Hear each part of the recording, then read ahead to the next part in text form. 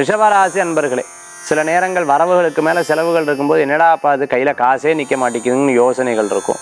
எந்த விஷயத்தில் இருந்தாலும் மனதை மட்டும் திடகாத்திரமாக அதாவது அஷ்டலக்ஷ்மிகளில் விசேஷமான லக்ஷ்மி தைரிய லக்ஷ்மின்னு அந்த தைரிய லக்ஷ்மி இருந்ததுன்னா மீது எல்லா லக்ஷ்மியும் அனுகிரகம் பண்ணுவான்னு சொல்லுவாள் அது மாதிரி தைரியத்தை மட்டும் மனசில் வச்சுட்டேன்னா எல்லா காரியங்களும் வெற்றியாகும். கனவுகள் பலிதமாகும். சில நேரங்கள் சின்ன சின்ன வாக்குவாதங்கள் யதார்த்தமாக இருந்துருக்கும் அதை பெருசாக்க வேண்டாம். வாகனத்தை வேகமாக ஓட்டிட்டு போகிறத தவிர்த்துக்கிறது நல்லது. மறதியில் பெரிய காஸ்ட்லியான பொருட்கள் எங்கேயும் விடக்கூடாது.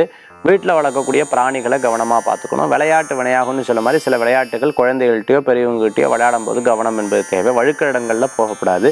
வெயிட்டான விஷயங்களை தூக்குறது அறவே தவிர்த்துக்கிறது நல்லது. இன்றைய தினத்துக்கு உண்டான அதிர்ஷ்டமான எண் ஆறு நிறம் வெண்மை. வழிபாட்டுக்குண்டான தெய்வம் மகிழ்ச்சி தரக்கூடிய மகாலட்சுமி வழிபாடு.